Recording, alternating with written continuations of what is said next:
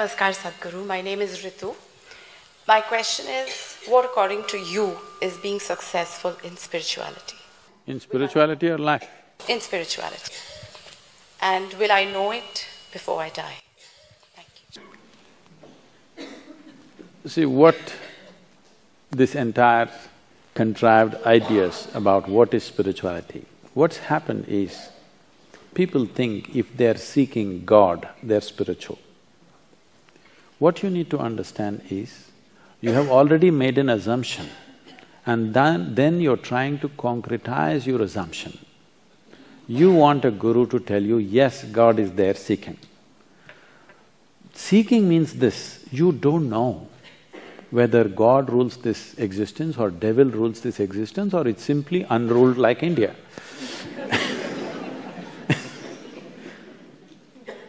You don't know, that's why you want to seek. You… seeking means you do not know and you want to know. If one has to be successful, as I said earlier, the most important thing is you, your intelligence is not identified with anything. Because the nature of the intellect is this, the moment you take on an identity, your uh, intellect will work hard to protect that identity. You just have to tell yourself three times, I'm an Indian. Suddenly everything Indian looks nice, everything across the border doesn't look nice. You just have to tell yourself, I'm this, and immediately it only protects that and nothing else. This is the nature of the intellect.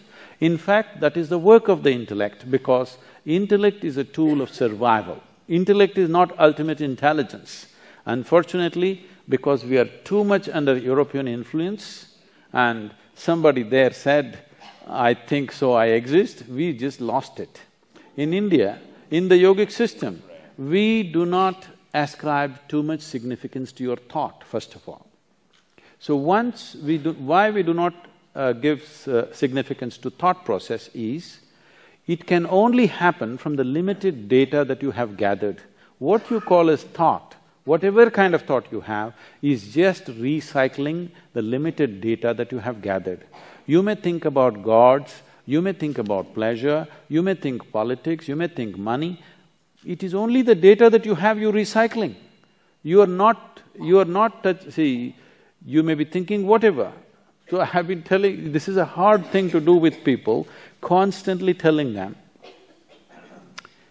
if God appears in your meditation, you just have to ignore him. ah, but Sadhguru, if Shiva comes, especially if he comes because Shiva is coming only because of the calendar images that you have seen. If you were born elsewhere, somebody else would be coming. So this is the old data playing up. So whatever plays up. See, you cannot… you cannot think God, you cannot think money, you cannot think ocean or the sky. You are only recycling the limited data. So we don't acknowledge thought process is a great form of intelligence. It's a wonderful instrument for handling your survival in the material world.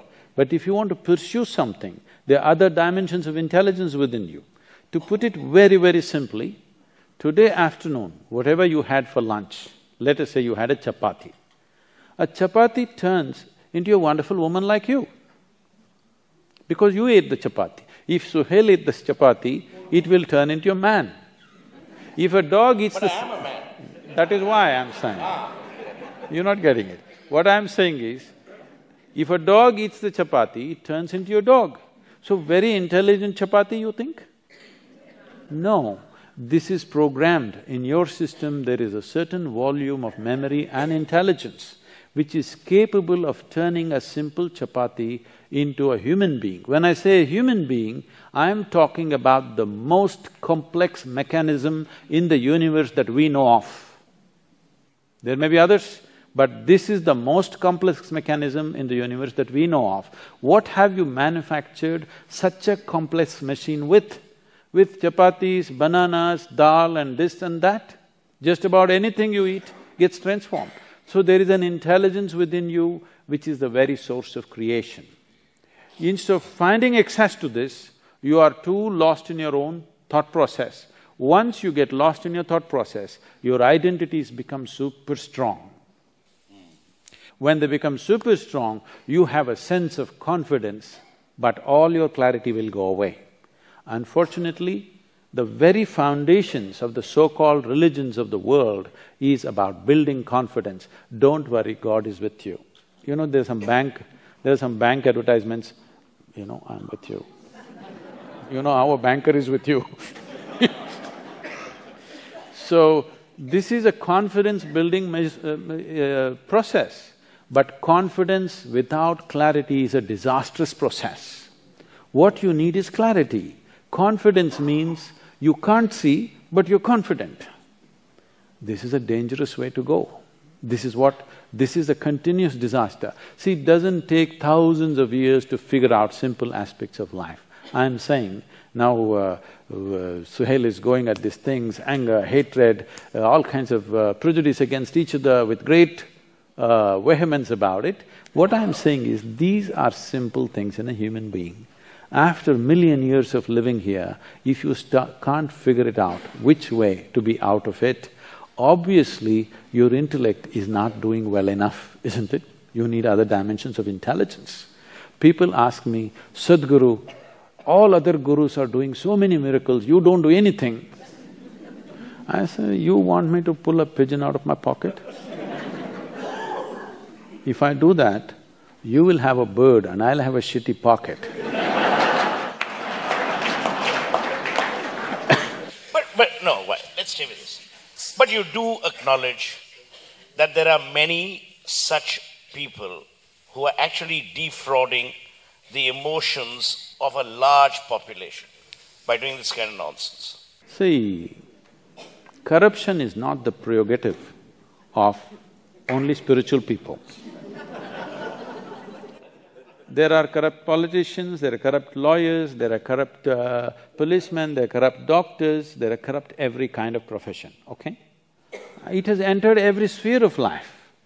It is just that when a person who claims to be a spiritual guide or a guru turns corrupt, it stands out glaring because today if you go to a police station, you're expecting him to be corrupt, unfortunately.